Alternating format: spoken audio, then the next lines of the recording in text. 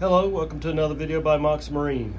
Um, in this video I'm going to be showing you the difference between a 4.3 liter V6 engine timing cover of one manufacturer versus another. Um, there's about three different manufacturers that I use and I will explain the differences between the three. Um, I've also come in, I'm getting uh, over COVID so my voice is going to be cracking and I might be doing a little bit of hacking a little bit and coughing so I apologize uh, in advance for that. So um, the cover you're looking at is a, I believe it's a cover I bought from RockAuto. It's an ATP brand. It comes with the bolts and it comes with the rubber seals. You have to push into the holes where the seals around the bolts. And uh, comes with the front seal. And uh, if you notice, it comes, it's um, it's for the carburetor version, so it doesn't have a hole for the crankshaft position sensor here. And that's, this is the one I prefer actually. Um, as of today, I'm gonna start using this one probably exclusively.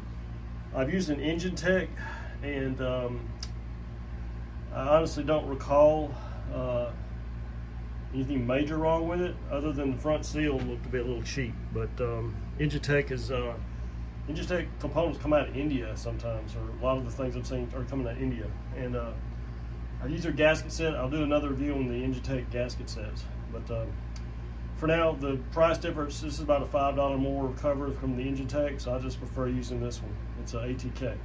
So I thought I would take a chance and see what the Dorman was like, so I bought another engine cover here for Dorman, for Dorman. And um, right off the bat, I don't like it.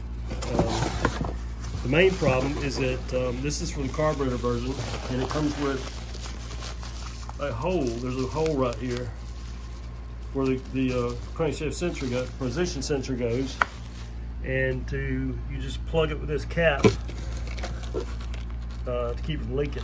Uh, I don't like that because it, anything you have to cover a hole that you have to put a plug in is one plug too many. You don't you, you, you don't need a, a, hole there if you don't have to have it. So why why have it? That's just going to be another leak point in the future. So. Um, I decided I'm gonna just box this one up, send it back. Um, this is, uh, these are the dowel pins that go in the block, and that's, that's another major problem. I don't deal with dowel pins. The ATP has them molded in. There's one there and one right there. So why should you have to put in metal dowel pins when the cover can come with it molded on? This is simple. I've used it quite a bit, and this is one I'm going to keep using. So um, just want to show you a quick uh, overview of the timing covers and uh, I'll put the model number of this particular one in the, in the description of this video. So I hope this helps. Uh, thanks for watching and subscribe to the channel if you haven't already.